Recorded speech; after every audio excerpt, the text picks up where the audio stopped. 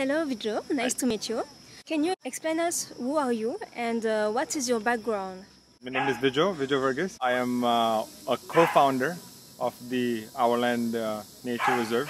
I come from a background of the, I guess, automotive world, primarily in the field of automotive, both corporate and as a journalist. And then after that, I decided to leave the automotive world or the corporate world and come into the world of, of nature conservation. What was the starting point of your ecological awareness? There was a time in my life in which uh, I was heading into national parks more and more. I would work Monday to Friday, and then Saturday, Sunday, I would live in a national park. At the same time, I was lucky enough through work to go to South Africa once, uh, and I saw a, a nature reserve, a game reserve, and how they were operating it. So that was one. And the second was uh, I was in Nepal once. I met a small businessman who had a very small guest house. He looked pretty happy with what he was doing. So that was the moment for me. I'm like, why couldn't I do something like that as well? You get inspired by him. Yeah, I was definitely inspired by him that I was uh, working in a corporate job and I was making a lot of money, but I was so stressed out. So you've always been sensitive to environmental issues and uh, problematics? I would say this just like everybody else. I was more attracted to nature and its beauty. It was more like I like nature and I want to protect nature. So Okay. then, what what can I do? Uh, you know, I wouldn't I wouldn't say that I was an environmentalist Yes. in the earlier years. Yeah. Okay. Yeah. How uh, it came the idea of uh, a such project? Everything that you see is just constant evolution. The first idea was just to get a piece of land mm-hmm. because every weekend I would go to a national park. So that's when I came back from Nepal mm-hmm. and I said, let's just find a place to rent. The point was to, to be part of the environment. What can I do to make nature better or make myself more sustainable? Okay. So those were the ideas that were initially there. Yeah. Okay. You are creating an eco village here. Hmm? Um, that has been in the first idea, of, or it's uh, an evolution of the project.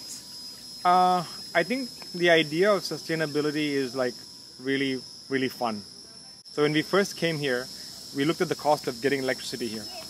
But the cost of getting electricity was we had to pull wires all the way from the nearest electric post, which was pretty far away. It was a big amount of money. Yes. So, and we were like, for such a small project, the first investment has got to be that much power lines. It's just too much work and too much cost.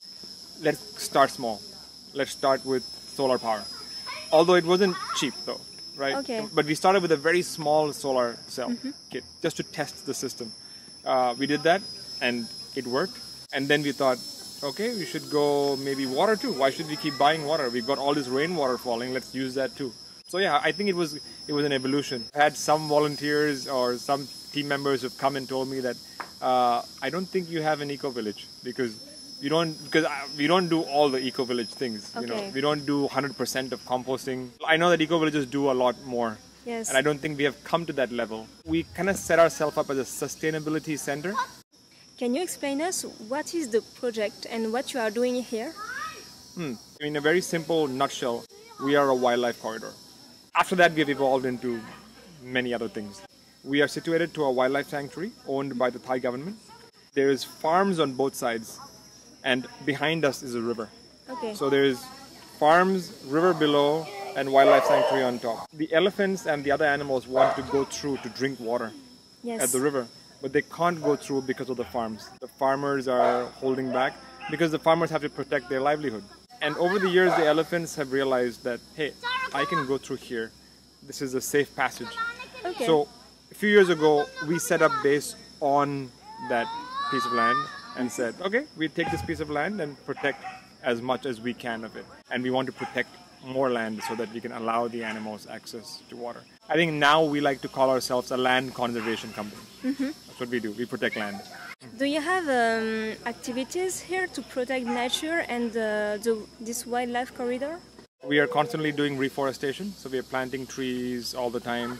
Uh, we are finding ways to retain water so that we can grow the trees. Uh, we try to do a bit of agroforestry, which is agricultural mixed with forestry. So we try to plant fruit trees in the area as much as possible. Okay. So by doing that, the animals benefit too, and we benefit too. And of course, being sustainable is, I mm-hmm. think, a big part of that. So to be as sustainable as possible Okay. when you're there, so that your carbon footprint inside the area at least is lesser. What is your main goal in the OurLand project?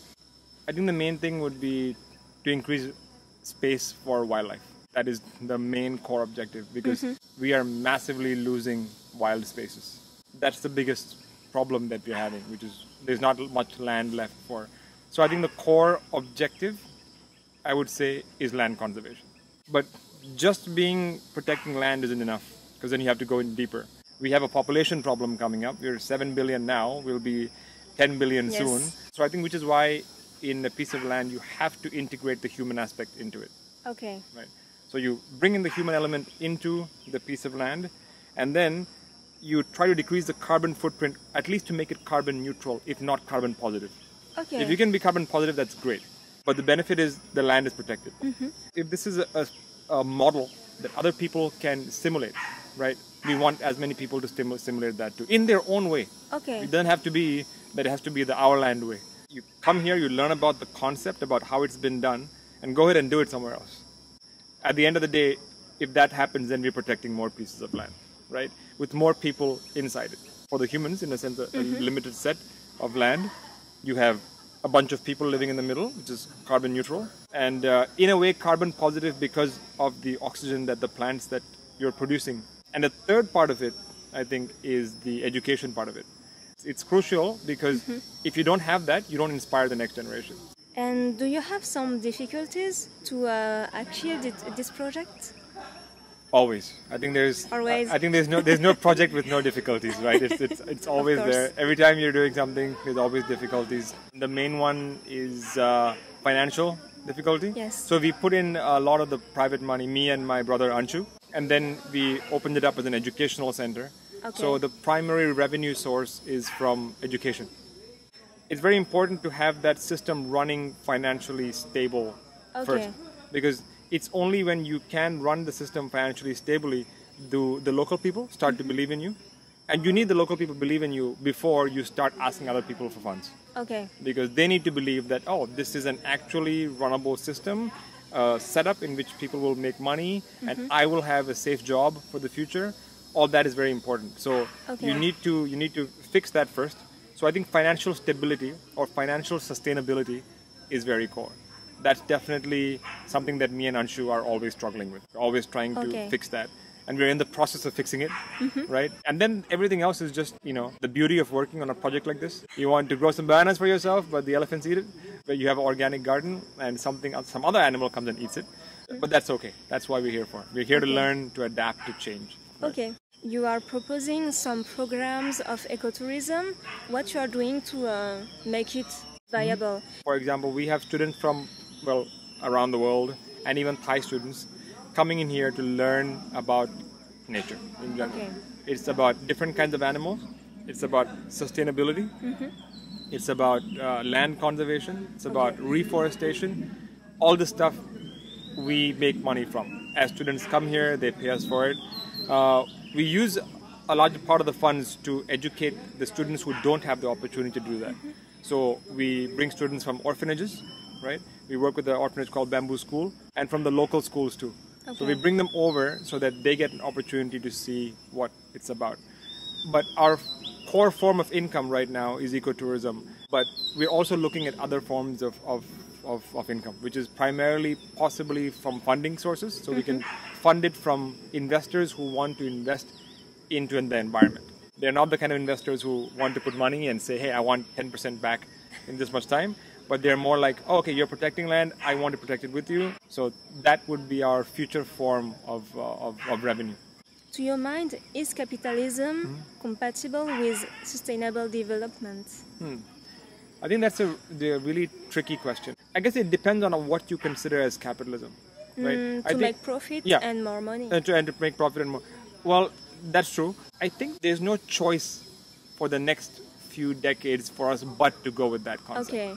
I think it'll come to a point in which we cannot depend on the capitalistic system, right? But right now we have no other way but to work inside the capitalistic system to break it apart. It's like you're actually working, drilling a hole into the heart of capitalism with sustainability So that once you get to the center of it, you can just pop it, pop it aside, and Okay. then there's a new form. You want to call it uh, ecological communism, if you want. So people like to say that, use that word. I don't think Mm-hmm. it's that's true because, you know, we have lim- we know how much resources we have. We know how much resources each person should use. Mm-hmm. So therefore, there must be some limitation on how much each person can use, right? But nowadays, because of capitalism, if you want to, yeah, capitalism, you can use resources more than what's allocated to you because Yes. of you because you have the money, so you can use more of that. If capitalism is based on the idea that you have to use money to run transactions, there's no choice. We have to make it go together. There's no way we're going to Yes. go and- and outside of the system unless you break into like a commu- community in which it's like a has a own you know e- economy of itself and all that stuff. I know in France you have some communities that are that that's also doing that like separate communities by themselves. How successful would they be is a big question. Like I have questioned that. Would it be would, would they be successful if they're working uh, on that kind of system? I think that would be quite tough. I think Yes. The only way right now is to work inside the capitalistic system so that you can use sustainability as a weapon to work the inside and then break apart capitalism in a day. Yes. Before capitalism, there was there was a pre-system era to it, right? And that had to fall apart in, in which we came into capitalism. So one day when capitalism is too old, it'll be gone too, right? And I think it's coming closer to its to its end, but uh, maybe not right now. Right? Okay. Right now we have to work this work the system. So I call Okay. it. Yeah. Do you have some piece of advice Hmm. for people who want to um, work in a more sustainable and environmental business? It's very difficult for me to say how to look for that because when I looked for that, I didn't find it. Okay. right? I was working uh, for a car company, right? An automotive manufacturer, one of the biggest in the world. I worked for their Thai division, right? And um, what I realized is when I started to have this awakening that I didn't want to spend any more time in here and I wanted to get out, I looked inside the corporation for answers. Yes. You know, is it possible for me to keep working here, make a good pay, and uh, and the company keep making cars and save the world? Yes. There is. I a- don't think that's possible. But, um, but I think that you really need to go back and ask what kind of a company do you want to work for, Okay. right? So I think that's something that all of us need to do, or the next generation needs to do when they're getting into the work field as well. If it's something that if you're passionate about the environment, Mm-hmm. uh, you need to question what kind of uh, envi- company you want to work for. Yes, you have to wo- to work for a company that share your opinions Exactly. and convictions. Exactly. Okay. So if you're working for an oil company, right, it can be difficult. But then, of course, they are. I'm not saying that there is no gray zone. You know, there is a gray zone. I think that it's very important to have this gray zone because there are not many people who will come out and protect land and do stupid stuff like you know that we do at our land, right? Or I there are some organizations around the world, but not everyone is crazy enough, right? so I think that so I think it's really important that there is a gray zone for the people who want to have a play a part in environmentalism or to, to be an environmentalist but how can they be more softer in their approach so they don't have to be so extreme in like doing something like this for those people i think definitely. Organization that you're working for is it an environmentally correct organization? Are they doing the right things? Mm-hmm. Are they are they putting their putting the money where their mouth is? Is that how the saying goes right? Yes. yeah that's something you need to check. But i think that i'm too much of a radical person to to be in the gray zone.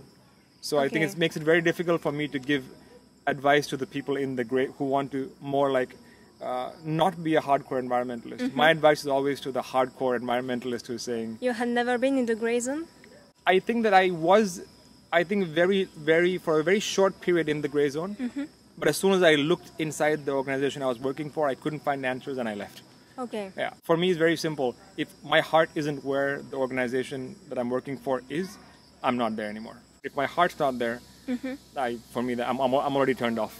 That Okay. I'm going, going to do something else. So that was the main issue that I had, I guess. If your heart's into environmentalism, you need to really think about the organization that you're going to work for. To really commit to the. To really commit and put your heart into it. Okay. So thank you for this interview no problem. and thank you for your time. Oh, that's it. Thank you. You're very welcome. Absolutely.